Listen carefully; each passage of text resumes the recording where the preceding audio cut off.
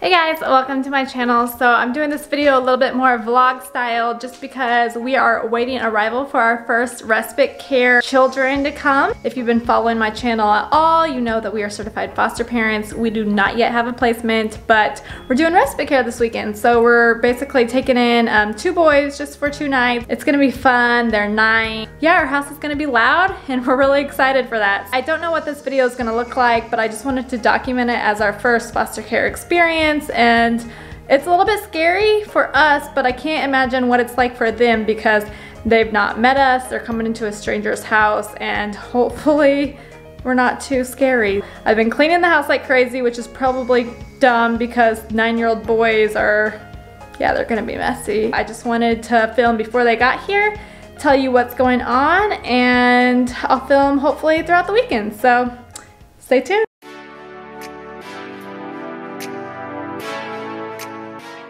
All right, David just got home from work and the kids should be here any minute. I made him come home a little early because I wanted him to be here when the kids got here. Yeah, we're excited.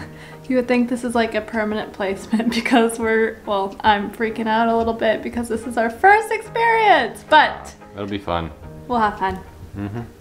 Here we go. Okay, it's like 9.30 at night, and if you can hear in the background, Imagine Dragons Believer is on because it's the boys' favorite song and it makes them feel comfortable. These boys are so sweet and it just breaks my heart because they ask us all the time if they can sit something here or if they can do that or where should they put this or I don't know, I just think about every weekend or every house they go into, it's new rules and they talk about their bio parents all the time and that breaks my heart too and obviously reunification is like the main goal of foster care and I don't really know the whole details of the case but these boys are so sweet. If you've ever thought about doing this it's gonna change your life and I am newly into this as you can tell but it's like the most heartbreaking but yet wonderful thing.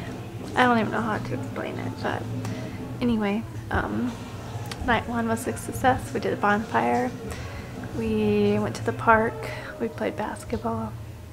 It was a good day. We're just doing a quick little update because the boys are downstairs working on a project. We're playing games. David, how do you think this weekend is going? It's going well. Are you having fun? Yeah, we've had a great time. We took them to the lake, to the beach. That was a lot of fun. Did a bonfire. Did a bonfire, s'mores. s'mores, hot dogs on the grill. Started working on um, an art project, a lot of drawing, We got sunburned. Look at that. science experiments. Yep, we did some science experiments. They're the sweetest little guys. They are. They're very well behaved, very sweet. We've had a fun weekend. Yeah.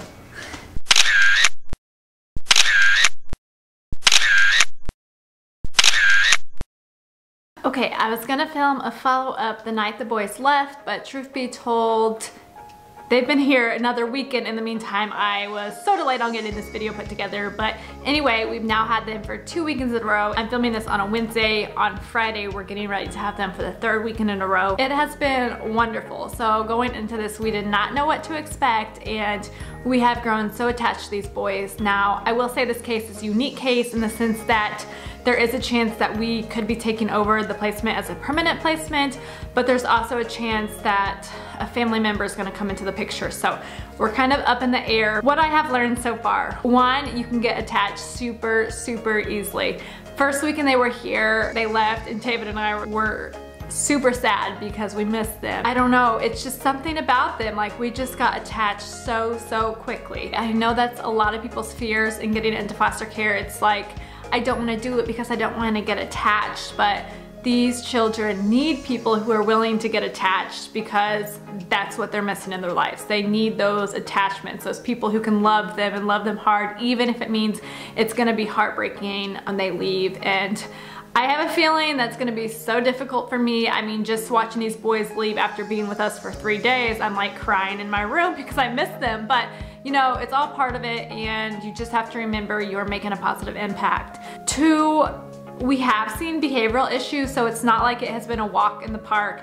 Like I took the boys to the movies and there was a big meltdown and I'm not a parent, this is all new to me, and I didn't know what to do. But you know, I handled it. Me and the boy talked it out and it's normal. You're gonna see behavioral issues. These kids have been through so much, but oh my goodness, I wish I could communicate this clearly. The positive far outweighs the negative and these boys, just to hear them open up to us about their struggles or their fears, or they ask us to pray and they thanked God for being in our house and for meeting us and talk about like a jab to the heart of just, oh my goodness, it was like an overwhelming, God, you are in this. Anyway, that's my takeaway so far from foster care. Again, I am a newbie, but hey, everybody starts somewhere and I want to continue to record our foster care videos. If you want to follow along with us, I know some of you have been here since we first shared our struggle with infertility and of course that's still a part of our story as well, but if you want to follow along with us on this crazy foster care journey, we don't know where it's going to take us, but I guess in life you never really know where it's going to take you. I say all that to say if you want to go ahead and hit that red subscribe button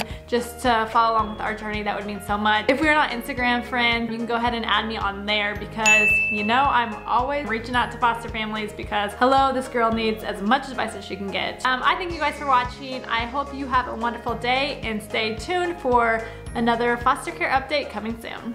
Bye.